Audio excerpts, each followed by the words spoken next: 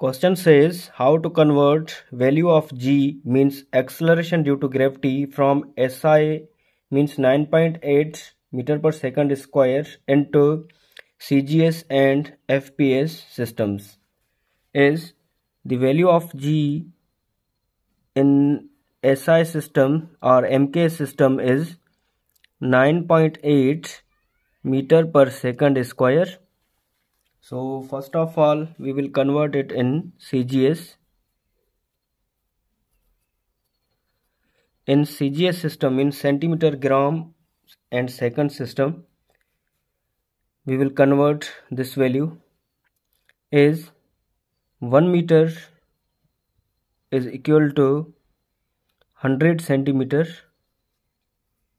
and second will remain same so in CGS system the value of G will be 9.8 is 1 meter is equal to 100 centimeters. So into 100 centimeter per second square will remain same. So G will be equal to 9.8 into 100 it will be 980 centimeter per second square.